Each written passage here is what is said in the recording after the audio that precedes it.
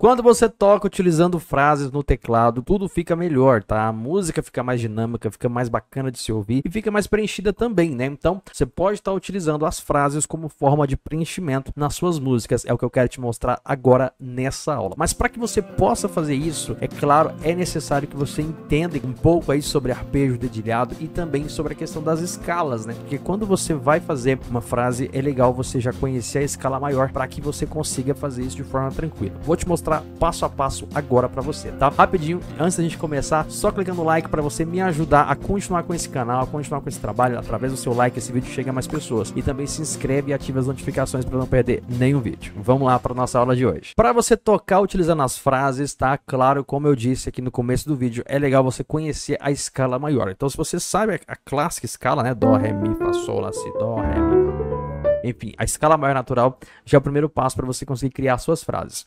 Aí vem a parte, claro, da criatividade, né? Como o próprio nome diz, criar frases, tá? É, você vai criar, tá? Mas não é nada anormal, nada que é complicado demais que às vezes você pensa que você não consegue fazer. Você pode copiar essas frases, pode ter frases prontas, pode ouvir frases de alguma música e você uh, fazer igual, né? E começar a replicar isso em outras músicas. Esse é o legal das frases. Elas não precisam ser algo que você tem que criar na hora. Você consegue criar antecipadamente, colocar aí como uma espécie de repertório e estar tá utilizando nas músicas que você toca, beleza? É isso que eu quero mostrar para vocês. Então, vamos lá. Como que a gente faz para usar as frases aqui nas músicas? Se eu fosse tocar uma música qualquer aqui, por exemplo, eu vou tocar uma música aqui, já vou aplicar algumas frases e vou te mostrar o quanto que é legal. Então, ó, vou tocar essa música aqui, por exemplo. Eu vou descansar pois já entreguei meu amanhã nas mãos de Deus. Agora, a última palavra vem de Deus, a última resposta.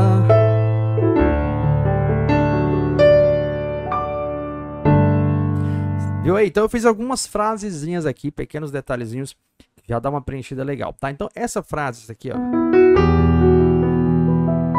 é algo que eu já consigo fazer em várias músicas, tá? Por exemplo, sempre que eu vou para uma música ali que tem um mi menor, eu consigo fazer Aliás, aqui. Então, é uma frase tá? É bacana porque isso já é pré-pronto. Então, se fosse para qualquer música que tivesse um Mi menor, eu poderia fazer a mesma coisa, entendeu? Isso aqui é legal. Então, você consegue ter um repertório de frases e pode ir replicando, né? Tem uma que eu sempre falo dela aqui, né? Que é uma frase muito bacana e eu gosto de utilizar sempre que eu tô no Fá e vou para um Ré menor, né? É a música do Leonardo Gonçalves, uh, Getsemane, né? Foi que o meu Jesus orou. Então, naquela parte que ele faz assim, ó. Ele tanto amou, tudo suportou. Né? Então esse né? essa frasezinha, essa caidinha. Olha que bacana. Posso replicar em outras músicas, né? Que tiver um Fá e for pro Ré menor. Né? E pode ser feita a mesma frase também em outros tons. Se eu tivesse em Dó, por exemplo, replica o mesmo desenho, tá? Bom, então vamos lá. Eu quero te mostrar agora como que você uh, cria essa frase, né? Porque você pode ter essas frases prontas, mas você pode estar criando aí também né? E tendo as suas próprias frases. Então vamos lá. O que, que você pensa primeiro? Você primeiro vai pensar em uma divisão de tempo, tá? Eu sempre explico assim porque fica mais fácil de você entender. A frase ela precisa caber dentro de um compasso, dentro de uma marcação de tempo. Então você tem lá um, dois, três, quatro, um, dois, três, quatro. Quantas notas eu vou colocar dentro desses quatro tempos, né? Se a música tiver três tempos, um, dois, três, um, dois, três. Quantas notas eu consigo colocar ali para ficar bacana? Então pensa nisso. Então você tá aí na música? É aqui, ó. Eu vou descansar. Dois, três, quatro. Um, dois, três, quatro. Um, dois, três, quatro. Tá vendo? Aí eu vou e vou criar uma sequência de notas dentro desse compasso, desse tempo. Então, quantas notas eu vou colocar aqui? Eu poderia fazer um, dois, três, quatro, pá,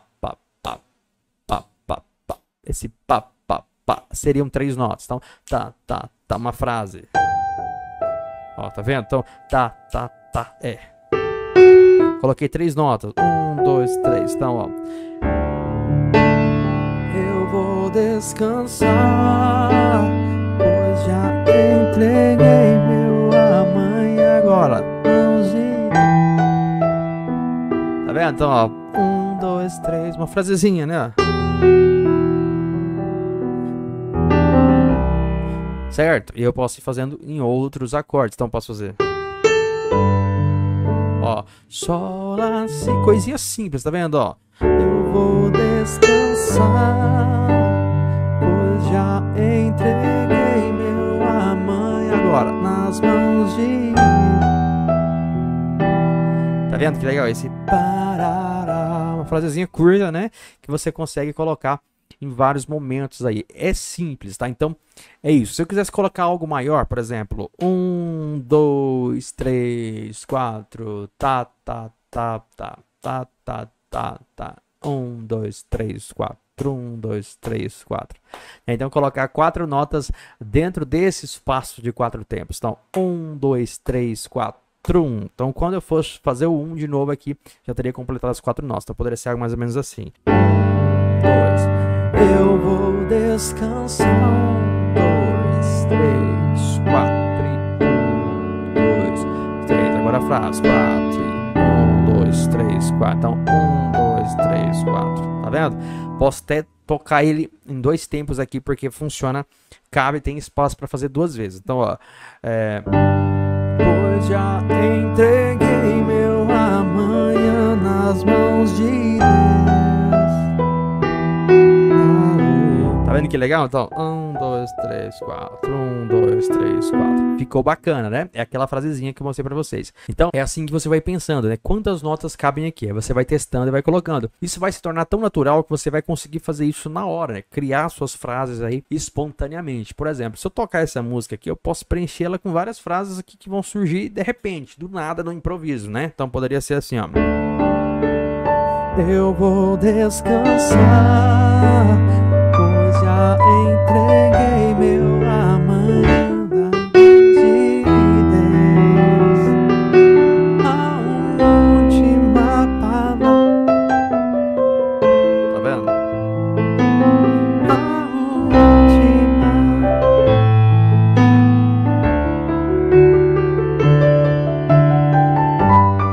E vai criando, né, como uma espécie de improviso. Às vezes eu não canto a música toda aqui, faço alguns pedacinhos e paro por causa dos direitos autorais das músicas, tá? Então, por isso que às vezes eu paro aqui e não canto a música toda. Enfim, deu para perceber que você consegue preenchendo a música, a música fica mais dinâmica, fica mais legal. E se você juntar isso aí com as técnicas musicais, né, que é você colocar mais dinâmica aí nas notas, né, não tocar todas com a mesma intensidade, tudo fica bem mais legal. Colocar outros acordes aí também para você trabalhar essa questão aí, vai melhorar demais a questão das suas frases, tá? Agora, para você pegar a prática, você precisa começar a aplicar, né? Às vezes a gente pensa que não consegue, que tá feio, o negócio não tá funcionando, mas isso vai melhorar, tá? À medida que você for se aprofundando nisso, você vai perceber que o negócio vai melhorando, tá? Não precisa ser aquelas frases gigantes, né? Pequenos detalhezinhos, umas frasezinhas curtas como isso.